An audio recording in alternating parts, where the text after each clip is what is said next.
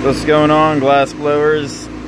This is exactly what you want, uh, HVO system. I mean, it doesn't get much simpler than this. You got your four concentrators all teed up going through the pressure relief valve. Got this at Amazon for like 10 bucks. Going in a concentrator with through a barb fitting. Um, I mean, not the concentrator, the compressor going into the tank with your pressure switch that came with the um, with the compressor itself.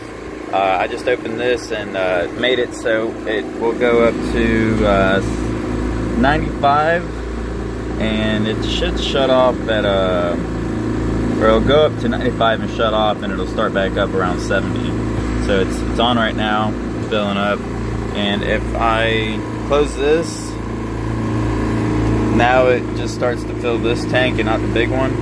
So you can see it can start going back up a lot quicker. So you'll see it's gonna shut off right after 90. Um, but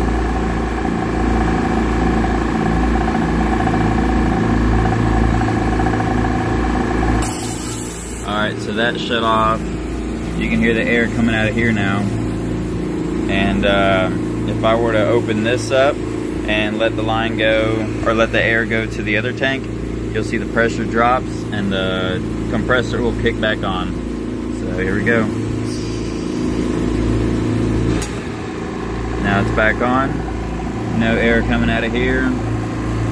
Uh, all the concentrators are staying, I mean, they're barely moved the line or the ball barely fluctuates when the compressor kicks on and off so that's good.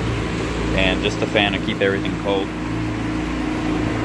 So coming out to here another ball valve going in the tank and uh, out through the top T I mean not T uh, elbow. And then this is just the air filter. I don't think it's necessary but I just figured why not, since this tank is kind of old, um, you know, just to be safe.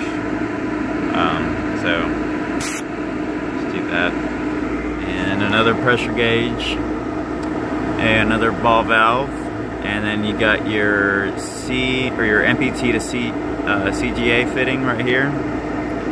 That's like a, a key thing you need for this system. So you're able to hook up uh, oxygen regulator threading into national pipe threading. Um, so, yeah, and then it just goes straight inside to the bottom of the ducting. Alright, so here's inside. Uh, the hoses are coming up through there into these uh, Ys up the torch, obviously. That's how you hook it up and let's see so all the uh, valves are off right now. Just gonna turn on the propane. So you got that